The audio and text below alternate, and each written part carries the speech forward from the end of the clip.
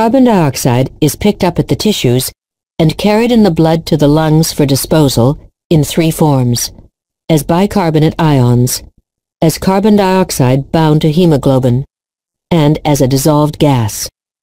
A very small percent of carbon dioxide is transported in the plasma as a dissolved gas. A slightly larger percent of the carbon dioxide is transported bound to hemoglobin as carbaminohemoglobin. Carbaminohemoglobin is formed near metabolically active cells and carries carbon dioxide from systemic cells to the lungs.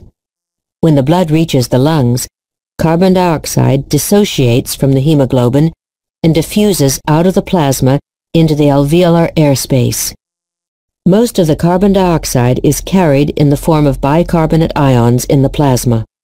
The carbon dioxide in the plasma diffuses into the red blood cell.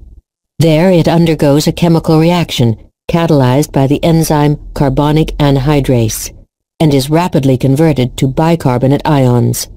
As levels of carbon dioxide increase, the production of bicarbonate ions increases.